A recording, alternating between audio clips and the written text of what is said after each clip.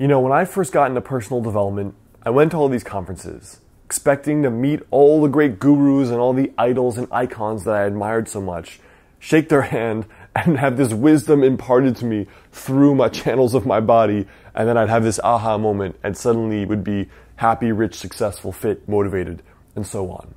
But so often what I found was that I'd go to these events, I'd feel like I could conquer the world for about a day when I got back.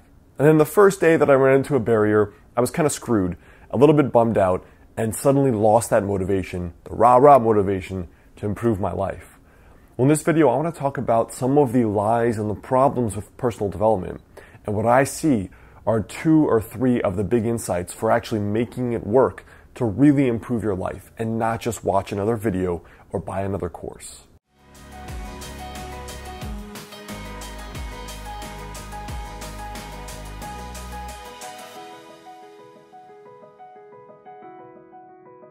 What's up, guys? Alex Heyne, author of the book Master the Day. Now, for me, personal development is the essence of goal setting. And they're like the yin and the yang in the sense that you need to improve yourself, but improve yourself in a specific direction. And one of the things that can help is the yearly vision planning worksheet I've included on how to have your best year ever. It's the first link in the description box. It's called the Best Year Goal Setting Worksheet, and it'll also bring you through an email course on how to have the best year of your life. So you can check it out down there below. To me, one of the big issues with personal development, or rather the way we approach it, is thinking that information is the savior, but it isn't. Application is.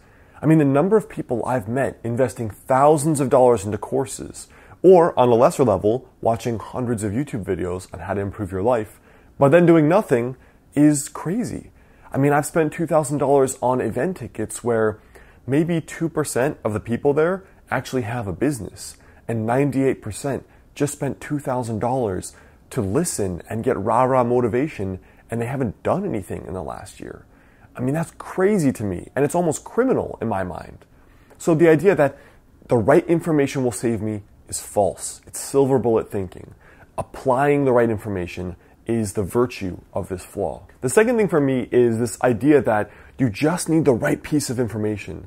And you see this kind of flaw show up where people go to this seminar and they're like, I think this is the piece. I think this coach is the missing piece. I think this book is the missing piece.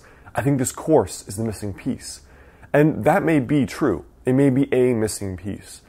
But expecting to find the piece that completes the geographic map of the earth of all reaching all your goals and all the mysteries of the universe, this is just flawed thinking. This is another manifestation of silver bullet thinking expecting to find the one thing that will solve it all for you. And along the lines of thinking that that one magical piece of information will be the solution to everything, is the corollary of if I meet the one person, the right introduction, it is just green lights all the way down to my goals. And all of these, what they're really saying is that you value finding the one thing that will solve everything for you, as opposed to the daily grind of being in the dirt, doing the work, showing up every single day, and really it's a flawed mental model of achievement. So, what's the solution?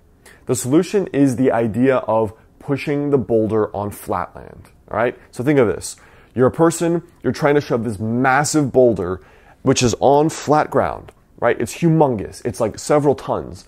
The first push, nothing happens. The second push, nothing happens. Maybe the 500th push, nothing happens. But you push, push, push for two hours. You're pushing this big rock. And eventually it starts to spin and it's rolling this slow. And you keep pushing, you keep pushing, and then gradually it goes faster and faster and faster. And then you have this boulder, which is everything you've been trying to work towards, that's actually moving on its own. So then you ask me, or I ask you, which push got that boulder to move? Was the first push? Was the thousandth push? Was it all of the pushes? This is the really this is the real essence of goal achievement. It's not one thing. It's not one push. It's not the first push. It's not the last push. Each thing gives you a piece to the puzzle to complete your own kind of goal setting philosophy and your goal achievement process.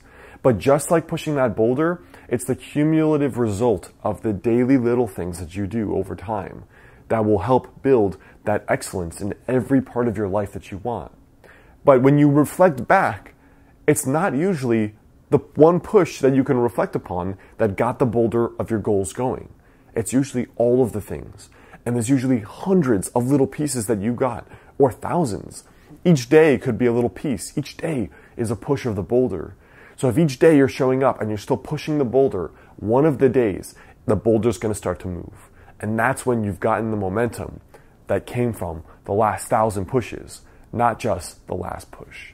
So this is a little bit about my own personal philosophy on what makes success. And when you look for what are the little things I can do daily instead of what's the one big push, then you start the first hundred pushes that eventually get that boulder going and eventually help you reach your goals and build this incredible thing you're trying to make with your life. So I hope that analogy helps a little bit. But again, these are the kind of things that I talk about in that free goal setting e-course. Again, that first link in the description, you'll get a worksheet and also a series of emails on goal setting and the process that I use for setting and achieving my own goals. So that's the first link in the description. Otherwise, I will catch you in the next video. And of course, you can check out my last related videos right there and right there.